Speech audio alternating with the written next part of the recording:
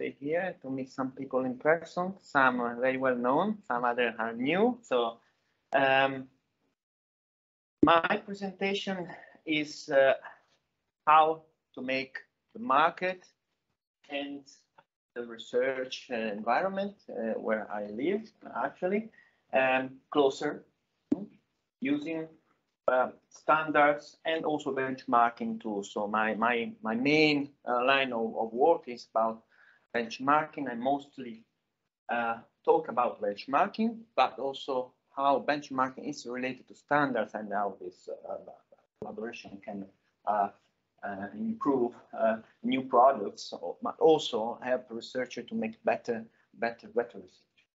Um, I come from the uh, Spanish National Research Council, actually here in in uh, in, in Spain, in Madrid, and and we have been uh, a long collaboration with Tecnalia with other projects and uh, in the last 10 years. Uh, okay, I will begin begin, begin with uh, with a uh, snapshot of where we are in the robotics.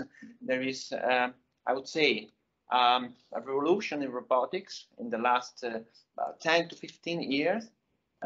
Uh, before robots were in these cages in industry where they were separated from humans because of safety reasons.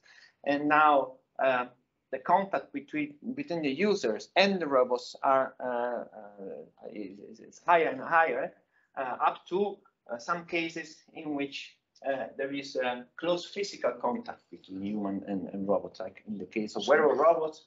Or, sorry, Diego, we yeah. cannot see the slides that you are pressing in. Sorry. Yeah. Why? It got spritz on the first one, so sorry for that.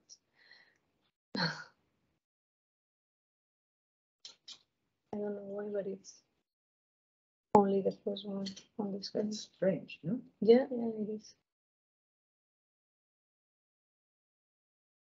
I don't know how to go to the teams on the computer. So.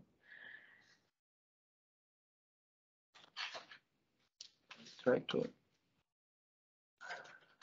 share again.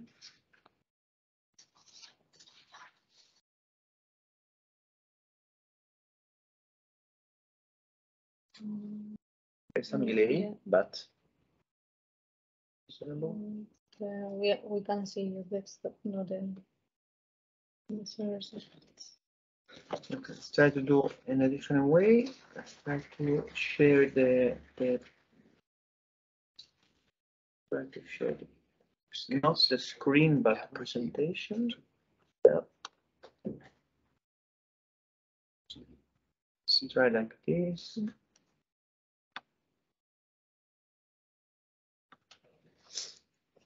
Doesn't will come with the camera. Nothing showing. But you can hear me, no? So people can Yeah, hear me. Yeah, So so my I connection. put the camera there and they can see the- directly the, Ah, the slides, okay? okay. Sorry for this, but No, no problem. never happened. Technology. Two years of COVID. We know very well. position. Yeah, no, it's fine, it's fine. So, so Okay. Yeah. No, I try to communicate also with my voice. Sorry. Should be understandable. Okay. So um, this is also witnessed by several uh, the, the forecasts in the market in which they say that this collaborative robot market is going to increase a lot in the line in the future. But we clearly see how uh, this shift is, is, is taking place. Okay. So we have, uh, we had and we still have uh, one main question, which is whether these robots really meet uh, human needs and expectations. Uh, what's the problem with this uh, new fancy technology? That uh, most of the time, when you want to see whether these are really working or not, you come out with a lot of um, marketing videos, which are good to generate awareness, to more or less explain to the general public uh, the functionality of these robots. But uh, we are we're missing really quantitative indicators on the performance of these systems. No, if you go to buy a cell phone, you can see a lot of parameters, you know, which help you to, to buy one cell phone or the other one, and or, or, or your or, or your uh, fridge. No, you have this uh, um, uh, this uh, uh, efficiency measurement for A to more flatter, and so you can choose. No, when you come up and, and you want to, to buy a robot, also most most of these you cannot buy still, but they're starting to to be available in the market. No, so what sh should you look at? Which are the indicators that that can convey the the, um, the level of performance of the system? So we, we think that this is completely missing, at least uh, when we started to propose this idea of this line of benchmarking, actually here with, with Tecnalia, Jan Veneman uh, was seven years ago, eight years ago, this was completely in, in, in not existent. Okay, But uh, there was um, a discipline or a field called benchmarking that is uh, well known in other disciplines, like for example, computer vision or, or, or even less, the communication like um, interconnection. No? There are see this um, uh, methodology that is used to uh, help uh, people assess the system in a quantitative way and also in an impartial way. No? From the outside, you can apply this independently of what the system is. No? You can apply this kind of, of uh, measurement uh, methodologies. No? Uh, this is very useful to compare so benchmarking is mainly done to compare different systems. Many times my system of my company with the with the with the competitor, but also from an end user point of view, also to choose different solution. For the engineers, this comparison can help in identifying where to put attention in, in, in during the development. No? So because as Patrick said before, uh, you you don't have unlimited time, so you have to focus on something, and you can focus on, okay, I want to improve uh, that specific um, uh, quantitative indicators of uh, no, one unit, no, and then I focus on that. And also, research is very important to demonstrate that your system uh, uh, is working. That can you can bring your robot out of the lab. This is very well connected with the concept of, of uh, technology readiness level. You all well know uh, this, uh, this, uh, this, this, this, methodology to measure um, where your um, prototype is uh, in the path from research to market. Okay, uh, this technology readiness level been introduced by NASA is, is NASA, and uh, also uh, benchmarks can provide you an indication of where your system is in this. No, so um, each of these numbers has a definition, but I like uh, to use the definition of Patrick. I just put your photo here. Now you are in my presentation for the rest of my life. So I tried this.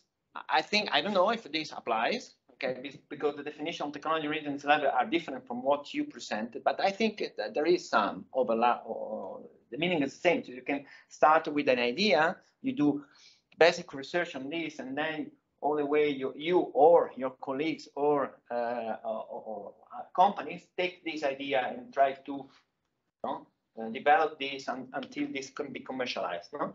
So technology readiness level are very well suited for benchmarking, know, to to to to so uh, two concepts that uh, they go together.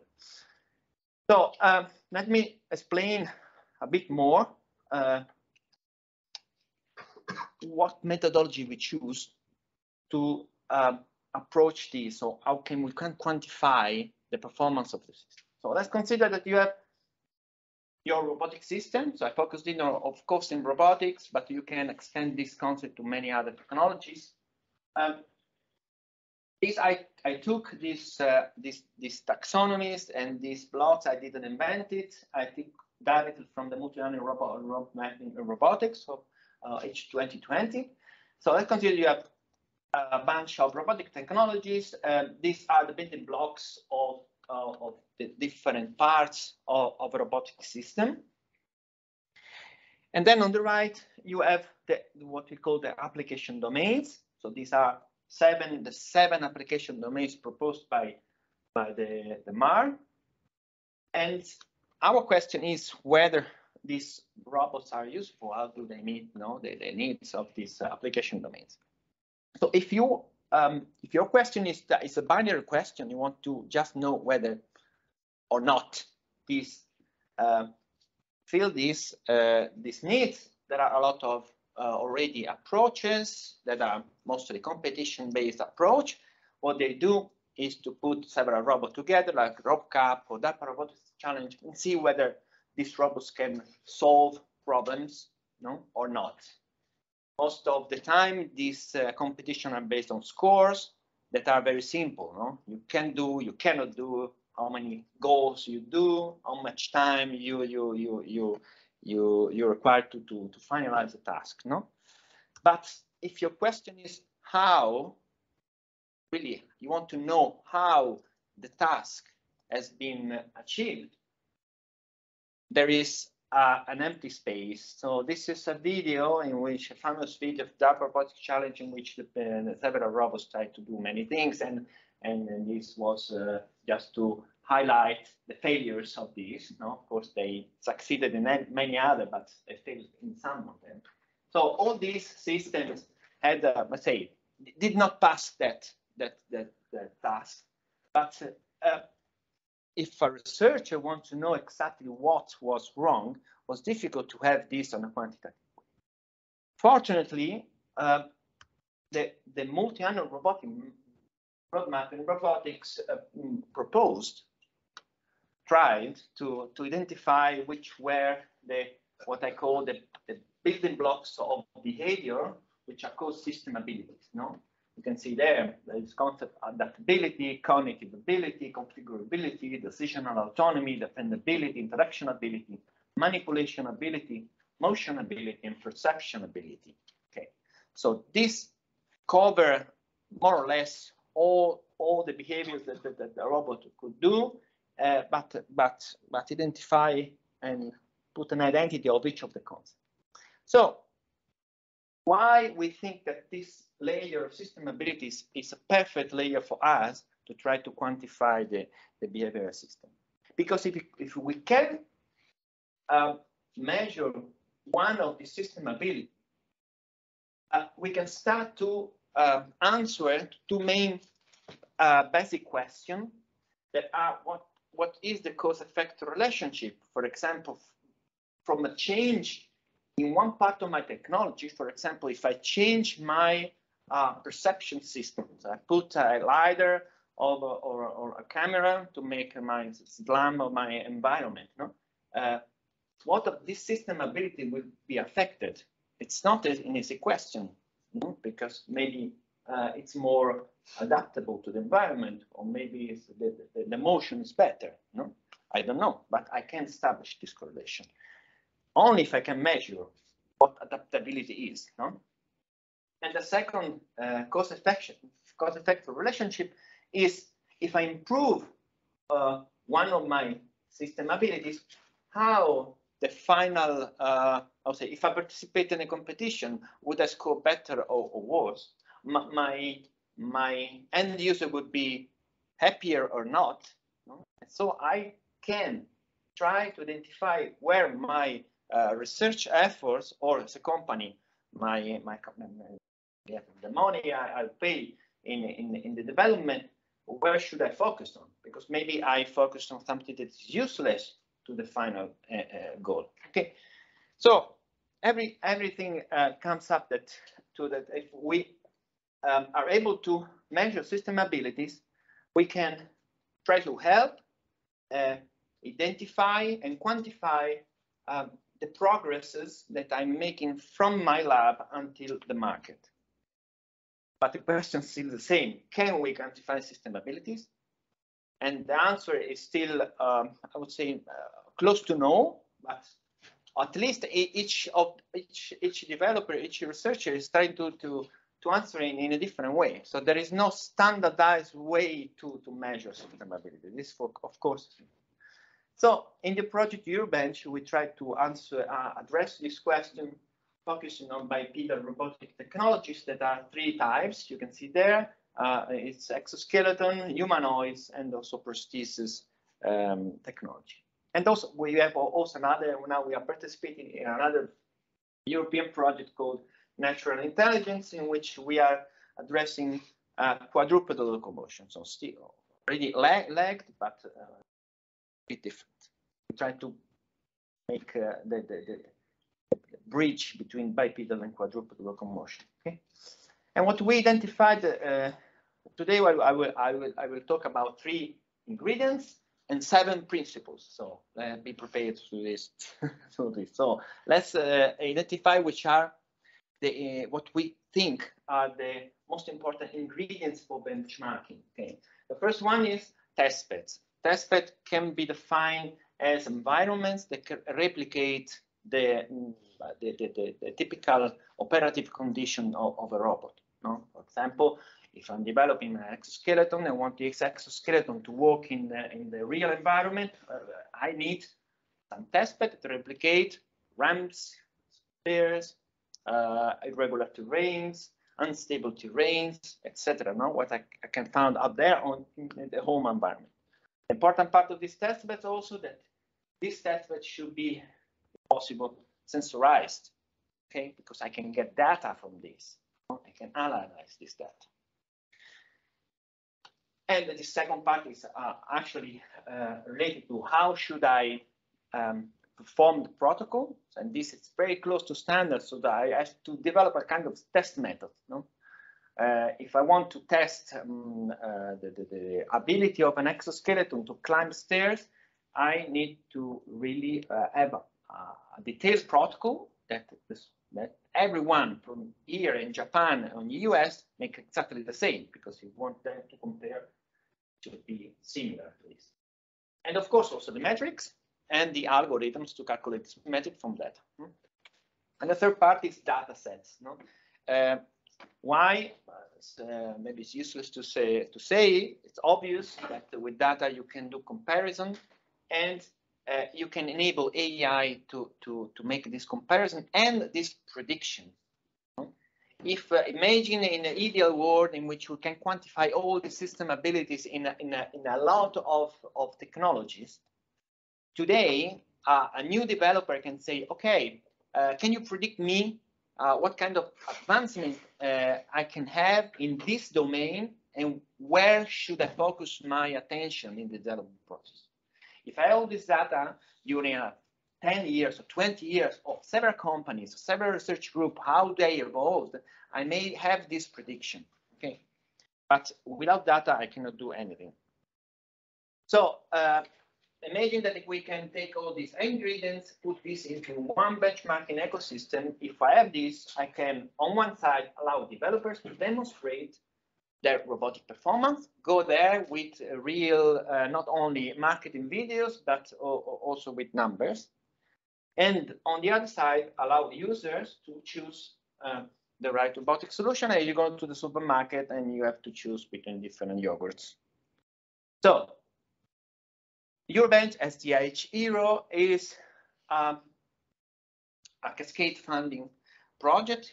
Is was because we are uh, very close to the end of the project. In June, we will end up and so what we did is to involve the community in the development of these uh, three ingredients. Okay, so what we did are two open calls. I will talk more on, uh, on, the first call. I will not talk more uh, much about these calls, but what we did is we offer funds for small consortium to help us developing one or more of this of, of this uh, ingredient.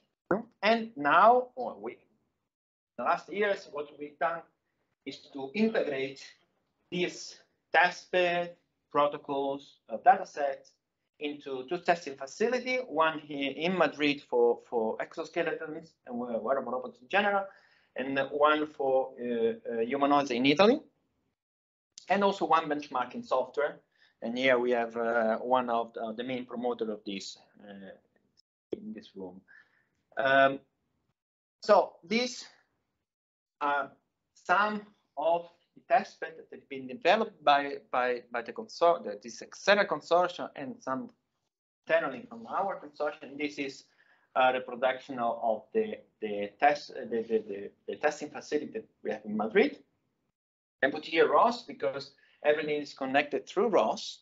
So you wanted to because there are a lot of, of different test beds, a lot of different sensors.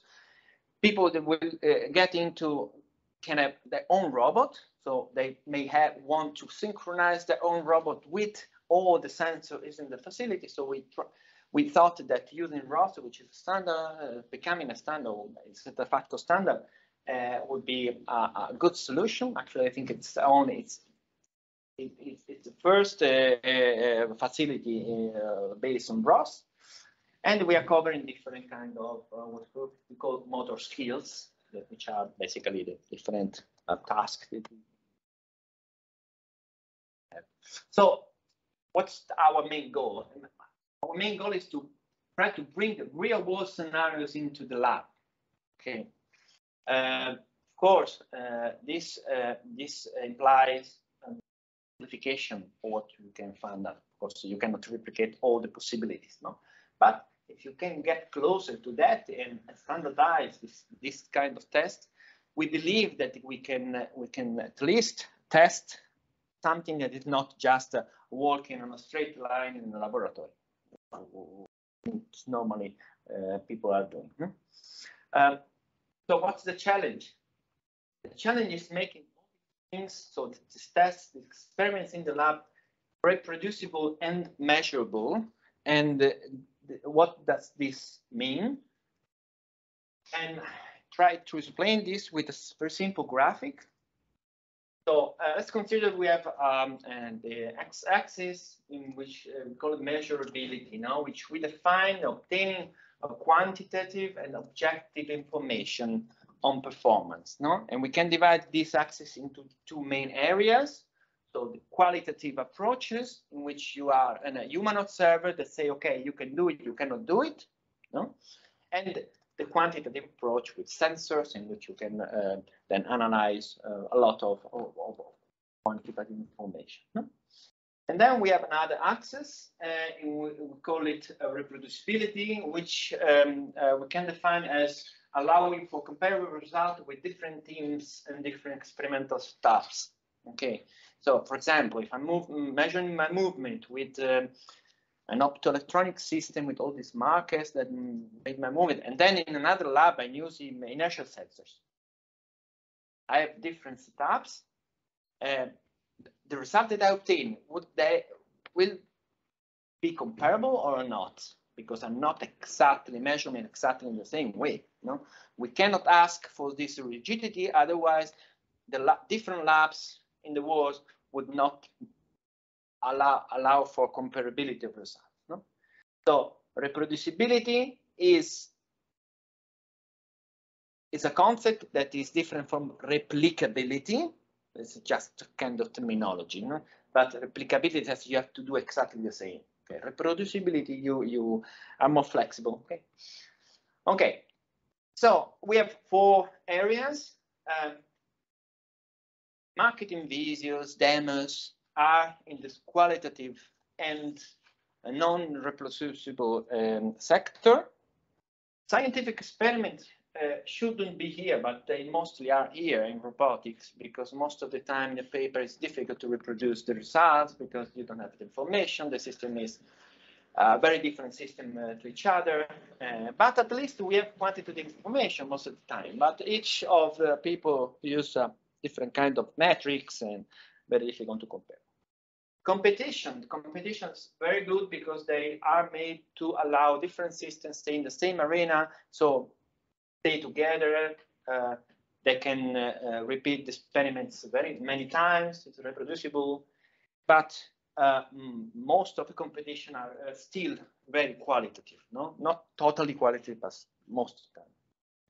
So for us, for us, benchmarking is here. We want to stay there, no? So having experiments that are both quantitative but also reproducible. Some approaches, like a European Robotics League, are trying to uh, to include more scores that are more quantitative um, uh, in in order to have a, a, a more a richer um, comparison among systems. Uh, so they are trying to move from that uh, sector to the to the to our ideal sector, and we are trying to do it from this other perspective. So we are most of us are researchers. We have some companies in, in the project, but we are researchers. We're trying to okay, what we do. I'm doing uh, an experiment you are doing an experiment that actually we're doing the same thing, but in a different way, why don't you know, agree on a standard way to do it? No? So we are trying to make, I don't know if this is standard or not, but we think that this concept of benchmarking and standard are very close, very close to each other. And uh, the demonstration of this is that we try to, to develop a standard. So we, what we took is one of our test beds, this test bed that we call the regular terrain test bed, in which we designed a modular um, surface made in this case of 12 modules uh, that you can see. You can put a kind of Lego in which you can put a different uh, position and you can simulate a variety of different uh, uneven uh, uh, environment. Of course, not all, all, all, you cannot simulate everything, but you can simulate uh, uh, several challenging uh, situations for robots. Okay, so what we we did also is to develop then another concept that is uh, a multi-layer concept in which you have a basic layer, which is a base of support that you can incline. On top of this incline, surface, you can put these modules that can have different inclination. This is a five degree, but we have a 10 degree model. Okay, so you can really, I try to do this and it's not easy when you stay in, in a sloped configuration. And on top of this, you can have different layers of materials, no, that be soft material or rough, uh, etc. No? So we think that with combination of these three types can uh, allow people to choose uh, what condition could be most similar to to what uh, uh, the operative uh, the, in the, the, the, condition of the of the robot. No? And what we did, we uh, developed our first uh, called pre-standard. it's a document that has been developed together with DIN, which is the standardization body in, in, in Germany, and with CENELEC, which is the European ISO. Some of you know this uh, this work because participated in this in this effort. We did this with um, um, almost 20 different institutions. So this is a kind of fast track for for for standard. Uh, it's a, it, it, it is a formal document. It cannot be called standard. Even sometimes you see now in the COVID thing, so this is standardized, and you see that it's not an ISO it's CWA, no? So it's kind of, okay, a first step, no?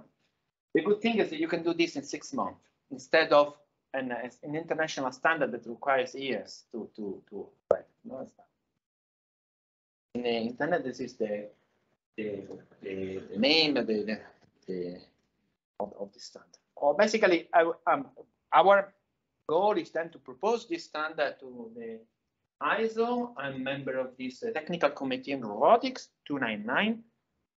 So if I have time, I would like to bring this into that uh, and uh, try to make it uh, approved as a standard. No? Uh, but I let's see how this process goes.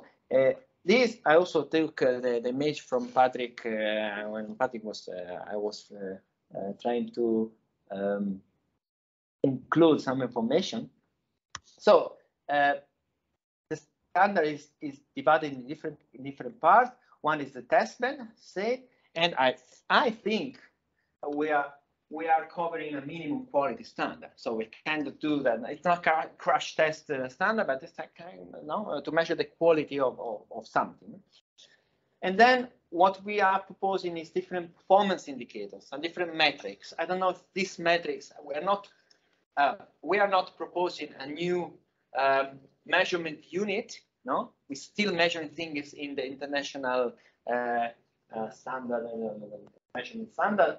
But what we are proposing is something that people can can start to use and to communicate to each other as as metrics of of of performance. No, and there are many. Uh, works in in bipedal locomotion knows the the most of these. These are not new. I'm just taking from the literature and say, okay, we think these are the good ones.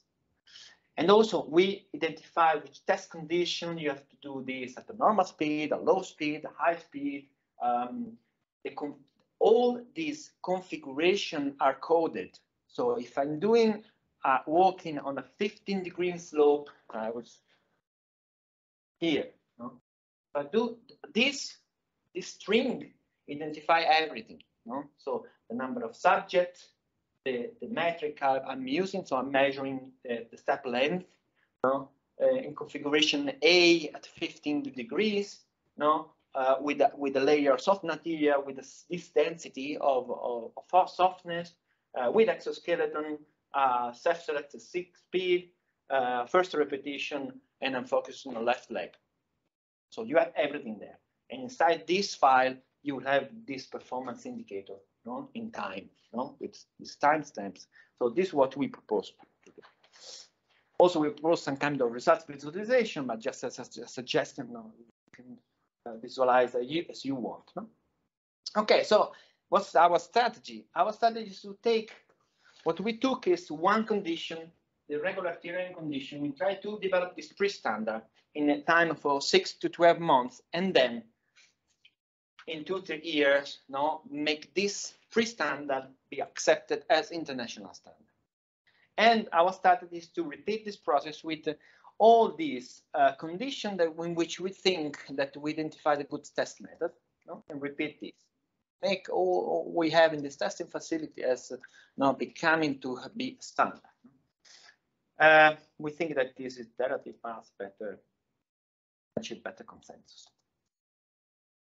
Okay, so let's go for this, this uh, C seven key principle. Actually, we already presented four of them. So the first is that these are the principles that we think um, uh, should be the basics uh, if you want to make benchmarking or you want to use. Uh, uh mostly, you can uh, want to um, develop a benchmarking ecosystem. You should follow these to be really to to achieve a good impact. So the first is reproducibility. So I already explained what reproducibility means. Um, this allow, I put this building on giant shoulders uh, because if you can reproduce an experiment done by another people before you, you can advance no, in the in the in the in the knowledge. Transferable. Uh, this means that if I make a test in the lab, this should predict what my system will do out of the lab. So this is a question that actually we even we haven't answered yet. Uh, if I walk on this irregular terrain and then I go outside and, and see something that is different from my regular terrain, is there a correlation with this? It should be, otherwise these lab tests are only good for comparison if, if but not a good prediction of real world conditions. Standardizable, meaning that this test method should be then converted into standards to help companies um, reach real people needs is we don't want to just stay in the research environment. We want this to be used by companies and companies will use only if they they are, I don't know what Patrick would say, but if they are forced to use because there is a normative that say you have to follow this standard. Otherwise, you cannot have the CE mark on this, for example. Uh, and now we get forth to the fourth one, which is uh, shareability, uh, and that that everything should be, all this computation, all this data should be open access, should be in platform that everybody can use. And this is not uh, an easy task. There are a lot of databases out there, but each database has this different format. Who is going to compare all these things? You need a guy for for for six months, one year trying to adapt to different formats and at the end you will not do if you don't have a one one fee one, one, one place to do this and that's what we are trying to do in the in the Eurobench develop this benchmarking software.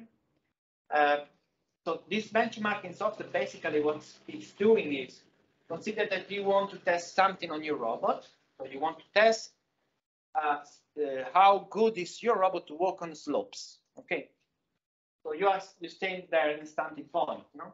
So you go into a web-based software that helps you to identify which protocols you can apply. There could be one protocol slope walking or several, no, depending on the kind of slopes. No, you select that. You can also uh, we are putting all this description in GitHub so people can also look at this without entering uh, proprietary software. No, you can look at that. Then you do the experiment. You can do the experiment in your own lab, or you go to the facility. No, that allows you with uh, this ROS-based architecture to have everything synchronized. No, and then you obtain the data. This data will be uploaded in a repository, and then there is a performance indicator computation that is basically the software that takes all these algorithms for computation and put this into one software system that is able to return some scores on the performance of that robot. This should be done uh, semi or totally automatic uh, because you follow exactly the protocol and you follow exactly the data format that you have to upload. So everything can be done by machine, so without human intervention. And then you obtain this data, and uh, this is kind of future work. No, we would like to apply artificial intelligence once we have enough data to make a meaningful comparison and prediction. Okay, uh, this actually is being done by uh, with, with, with coordinated by Technalians. Which are the main points here? That should be full cloud-based, agnostic to code environment. That's why we have uh, uh, Dockers, because um, uh, we are not forcing people to implement this in MATLAB and C++.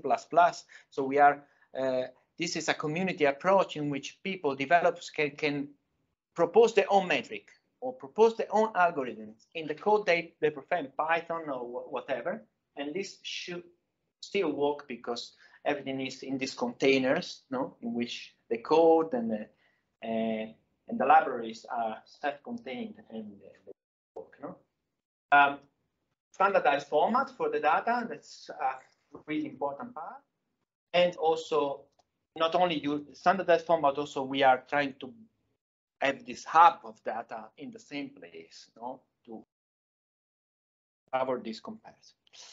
Okay, let's go for the fifth principle, which is agreement with the community, okay, uh, with the users that is, but also with the ones that uh, should then you uh, take these test methods and accept this as, as normative reference that are policymakers. No? We are working also in this direction with the second call of Eurobench. Uh, what we did last year is to once we had everything integrated, we're offering what we had, so the testing facility and the software to uh, beta tester, basically, that will uh, we are inviting them to use what we developed to have an opinion from them. And what we did is to, to select 42 different consortia um, from 13 countries. These are mean uh, more than 50 entities. Uh, that's mean a, a, a good uh, a, a good um, uh, community of, of, uh, of end users, of early adopter, as you wanna uh, call them. Um, most of them, so more than half of them will use the, the facility. So will go, uh, most of them already done. Uh, they came in our facilities to test uh, their robot in our facilities, but others prefer to stay in their own lab and just using the algorithms and the metrics and the protocols to see us whether uh, you can do this in your own lab or you have each time to go to the facility. Um, this is just an example of, of the systems that uh, uh went to our facility. Uh, most of them are wearable robots. Some of them are, are, are humanoid robots in this uh, red uh, uh, circle, we have what we as consortium, everybody consortium have offered as standard platform. Okay, these are the REEM-C from uh, from PAL Robotics from Francesco. That can for sure is, uh, yeah, he's uh, listen to us, and and that one is H3. Both of these platforms are are uh, the control and the communication space in ROS also. So this means that when this robot enter the facility, they are connected to this facility. Okay, so people can really have a direct communication, and this will help people. And also, this allows people that don't have robots but all node are only they are only in uh, developing control algorithm to implement their own algorithm into this standard platform so you can compare not the robot itself, but the control algorithm. So this open up the possibility to also all the community of controllers and- and people that do uh, code, no, uh, and not only um, hardware. Okay, so uh, of course we are targeting also um, the market as um, benchmarking ecosystem as testing facility. So we would like to offer in the future what we have also to uh, as a service to the community uh, as a with our business model when we identify uh, some potential users no, who can benefit from these uh, from these tools. No? One of these is our research group. We offer on only one site to to to test new hypotheses, new approaches, uh, most focused on wearable robots, but it's completely also for humanoids. Also, we offer this to end user. So you want to buy a system, but you have you want to train uh, your personnel to use this. Now, for example, you are in hospital, you want to buy 10 exoskeleton, so so patient can use this. So you you bring their physiotherapists, um, medical professionals to to to learn how to use the system. Could be university because we have a complete laboratory. So you can bring them students, you can do courses to help them, teach them to use a high variety of uh, technologies, no? robotic technologies, measurement technologies. The certification standardization body was I was discussing before with Patrick. Um, like to be um, a certified laboratory, you know, so people, companies, uh, before going with the final product can go uh, in our site and have a kind of quality seal of different performance levels, you know, and and go and go, home. And then uh, also European project and competitions, uh, which can instead how to demonstrate that their new system is working. They can collaborate with us and bring their robot to the facility and and use this uh, uh, facility to, to demonstrate, you know, the ability of the system. What are we doing on the side of policymakers? We are doing several action also, apart from developing this CWA. We are also involved in another one that is proposed by Cobalt project. It's about cobot uh, safety. Uh, and now we, uh, I uh, highlighted in red uh, the main key point now, which is uh, the safety versus performance. Because most of the time, when you talk about standards in robotics, it's standard about safety. Why? Because because safety is the main concern of any uh, system and robotic system above all. And so, why testing performance? No. So why testing performance? Uh, some of you know, maybe most of you don't know that uh, the machinery uh, uh, regulation directive will change. No, in uh, I don't know if it already changed or is, is changing. No, the before uh, from 2006 there was this machine directive that considered this the the system mostly hardware system, but now uh, the new machinery directive is uh, is, is being uh, more uh, inclusive, meaning that they are including also the software in the system and also the substantial modifications. No, what's the problem there? That before you were developing a hardware, and this hardware was that hour for the entire life cycle of the of that hardware if you're starting to put software that is eh, more and more intelligent, meaning that is uh, able to change itself and learn, and the behavior of the system will change based on the experience, it means that during the life cycle of, the, of that product, the ability of this product can change. And also the safety, the safety, the, the, the, the, the, the, the um, uh, I would say, uh, about about safety the system can be less or more safe you know, depending on the situation and the environment so this means there is a big problem here is uh, uh, for a product developer, who, who, how do you, uh, who is liable uh, for a system that is self-learning uh, during the life cycle, no? So that's a big discussion, a big problem, no? And uh, that's why we think that uh, that performance is important to test uh, because before safety was if I put a finger, can I take this or like um, electrocution, something like this. But now is, for example, a system like a bipedal system.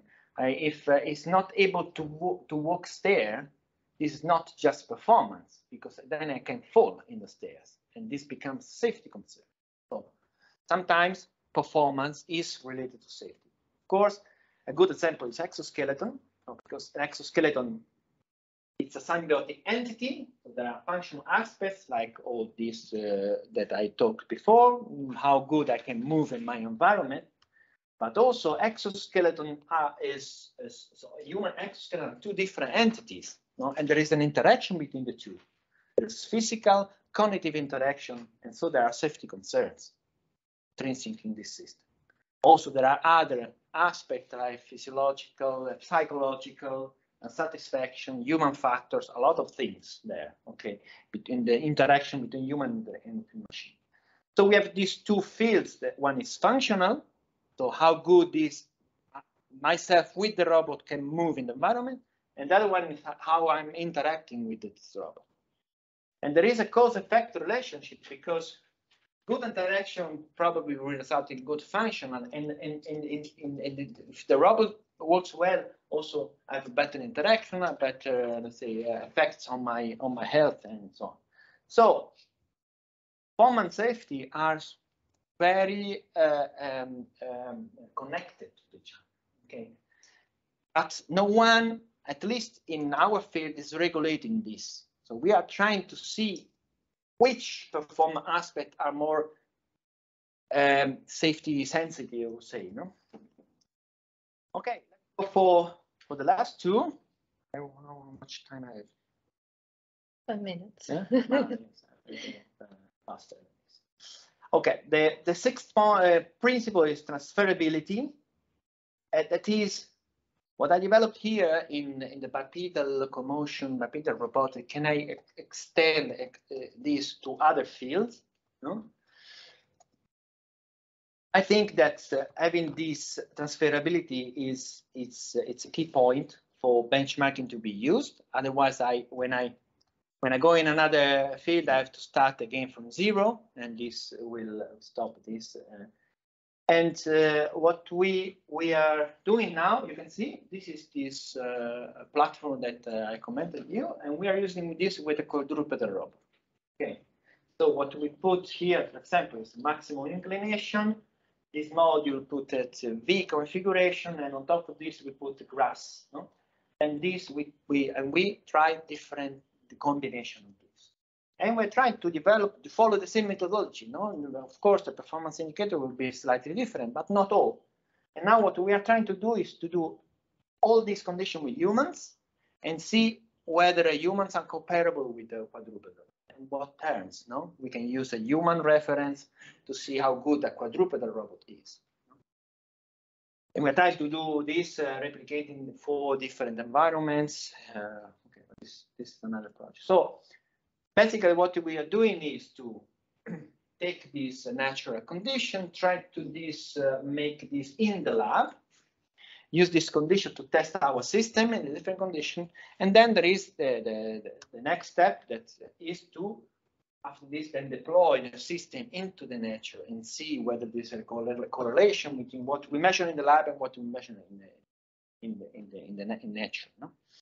Uh, next step would be maybe to extend these also to other kind of technologies, not legged robots, maybe wheeled robots or aerial robots. How different are these? Of course, completely different, but maybe not so different. Maybe the structure of the software will be exactly the same.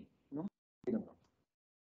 And the last is uh, understandable. So I put as a, this was at the beginning was the first one, and now I put as the last one because the story was better. But I I think that this should englobe everything. Also, the terminology, as Patrick also said before, uh, it's really important. For example, for us that work with uh, healthcare robotics, you know, um, you, you have to talk with uh, with uh, cl clinicians, with physiotherapists, and, and, many times you you end up with you don't understand each other just for problem of terminology. You know, for example, I always say the same the same um, uh, the, the the same anecdote, uh, which is uh, uh, when I was talking with a clinician and I was saying that the therapy was active one, no, and say no, but this is passive, active, passive, active, because I was considering active uh, from the robot perspective, and he was considering this from the user perspective. So when they say this is a passive therapy, or passive thing, was meaning that the, that the subject is passive and the robot is completely active. For us, a passive thing is like uh, that there is no actuation system. So, but this after two hours of discussion, no, this simple thing, no. Uh, so what we are doing now, uh, uh, actually we started before COVID, and then uh, we're trying to follow up with the COST Action, is to do this project, which is a vocabulary project that is um, joint action between COST and Eurobench. We identified several terms, and what we are doing is to make a vocabulary action. It's the term, the proposed definition, discussion thing, discussion notes about this definition, related terms, as references. This so to be in a kind of open document, live document that we shared with the community, um, uh, trying to then look in a place to put this also, maybe also in the platform we are developing, so people can uh, vote, use, discuss, uh, in kind as we do in social networks. Okay, so um, these are basically the principle, open to discussion about this, whether these are good, bad, what's the link with standards, and uh, for for improving this and bringing benchmarking into the practice of researchers and, and hopefully also in the companies. Thank you.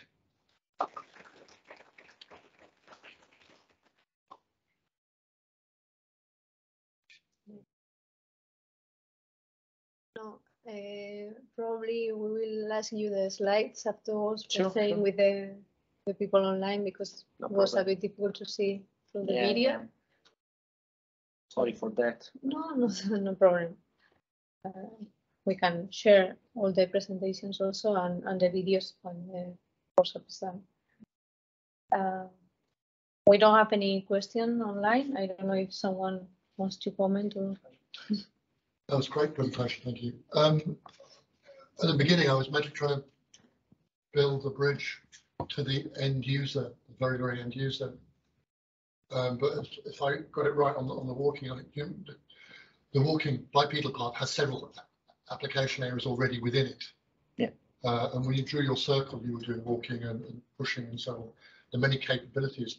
Could you say a little bit more about where you see that going as a patient or a particular task in it? Some going all the way to the very, very end. Someone says, right, I'm going to buy this one tomorrow for these reasons. Yes, uh, you touched a very sensitive point because in uh, so we talk about exoskeleton, which uh, uh, patients are uh, most common to have. Um, exoskeleton for rehabilitation are kind of of uh, it's, it's the therapeutic approach. No? So what we are measuring so far is not the therapeutic approach. We are testing the assistive approach, meaning that it's like a wheelchair. No, I want to know whether with this wheelchair you can go around. I'm not testing whether this wheelchair will make you healthier or not in the future. Okay.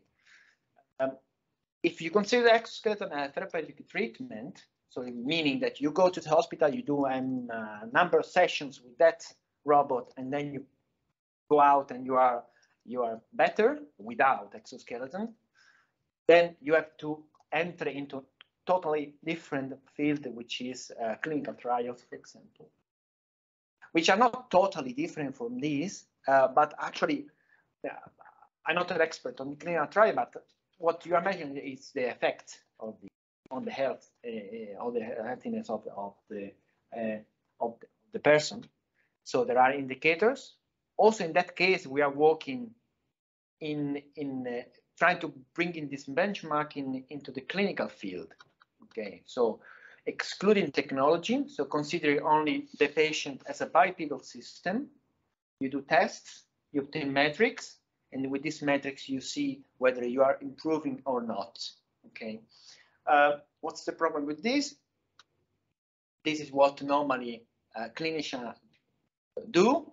The problem with clinician is that they use really rough scales, no, with which there is no, it's more so the, the measurability axis is more towards the qualitative one than the, the quantitative one. Okay, so we are mesh we we are using the same techniques to see. Okay, try to really evaluate in a more quantitative way. No? So we are helping that direction. But I'll say uh, I don't think that uh, walking on stairs or walking on irregular terrain would affect uh, the way um, as a medical device this is, is uh, evaluated. No? So for patient is this, is if a patient is a, a person that needs um, help, like a tetraplegic patient, then I, I, think that we are going in the, in, in the good direction I don't know how close to the final market. I don't know. I got a bit lost there. That's why I need some help and advice from people that are in the industry and they should tell us, yes, I need this or it's useless. Why are you doing this? If I go and I sell, I don't need any of this to sell. to discuss about this. Yeah, what do you you think?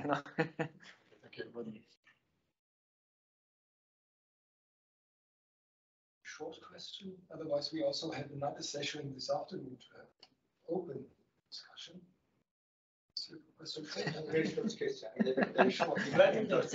I, I agree that yeah, safety is very important for exoskeleton.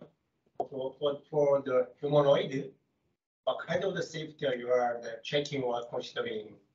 That's a good question from Francesco to, to know whether Francesco really needs uh, what kind of safety. I think now the safety that uh, tests that they are doing are safety about uh, this you know, electromagnetic compatibility and uh, physical like this. But in the future, when the REEM-C will have a super intelligent system that is able to decide things, I don't know how they will be able to test this is a safe system, a safe intelligence system. So that's uh, that's a good question, but I actually I think it's it's relevant, but I think that demonstrated that the, the, that robot can climb the stage without uh, uh, falling and, and kill the, the, the human the human that is behind. So it's it's relevant. I don't know if normative requires this.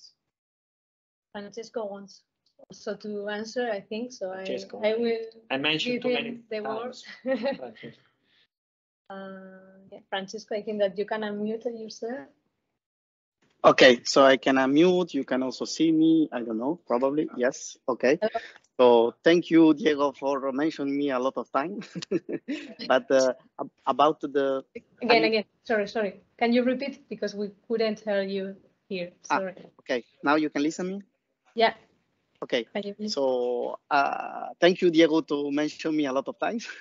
but uh, yes, the the question with humanoids in the in the in crowded environment or in the normal uh, life is something that is still uh, under development. So in the in the presentation that I will do in, uh, in some minutes, probably you will see some of these challenges because not everything is already solved.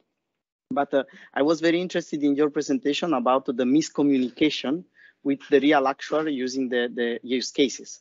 So you, you already mentioned one of your uh, you know example, but uh, what in your opinion uh, could be the miscommunication uh, not only with the people that have to, use you know the robots, but uh, also with the um, local central politician that in my opinion there's also some misunderstanding there in order of the use of this of this robotics. Yes, I, I, I, I totally, I totally agree. Uh, I, actually don't know what the mis- miscommunication is because I, mm, I, I almost never talk with the, with, uh, with politicians and the people that at, at that, at least technically, you present this and say, okay, fantastic, but then uh, never had a real meeting or focus group with them. So it would be nice to see where you, um, uh, in what respect you find the miscommunication. no? I try to see whether uh, also in the vocabulary project we have, we should include terms that are at that level. no? So I'm, uh, I, I, Yeah. I, I'm giving the question back to you. basically. Okay, it's, it's tough question But- also. It- Yeah, also because politicians change every five years, so, so yeah, no, you have to restart from scratch all the time. But maybe what we can do is to, with this vocabulary uh, efforts, say, okay, um, uh, we are talking with, so in these terms, no? So maybe also because they don't know actually our field, and then we should communicate them, uh, introduce them what this is, no? Otherwise, there is always this AI, uh, they steal job, or they what's liable for for a dining card that is killing people, no? That's Yes, you're right. Thank you, Diego. thank you. For,